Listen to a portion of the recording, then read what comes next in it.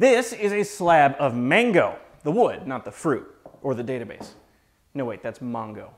Anyway, I'm gonna make a small live edge console table out of this for the hallway.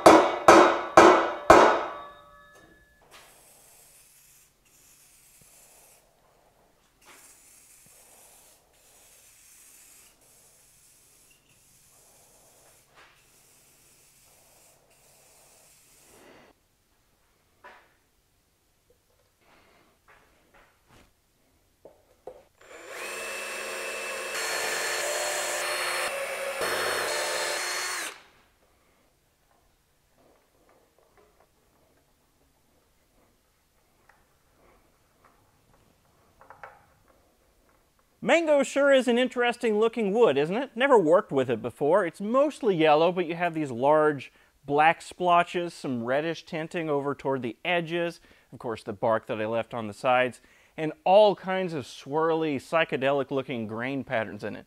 I really like it. It's also kind of strange looking, but I very much like it. It almost looks pre-stained, so if we accidentally do stain it in the future, it'll blend right in. This little project came about because my future wife and I were hardwood shopping and she spied this slab of mango and said, make me a console table out of that. So naturally I said, what's a console table? I don't know anything about furniture. And here we are. She told me roughly how high she wanted it and she wanted the legs made out of metal, but everything else was left up to me. And here's the end result. By the way, the feet that I made out of hardwood, that hardwood is mahogany, if you were wondering. There's only about an eighth an inch of it showing at the bottom, so no one's ever really going to see it. I had fun on this little project, and uh, I hope to do little stuff like this more often. Thanks for watching.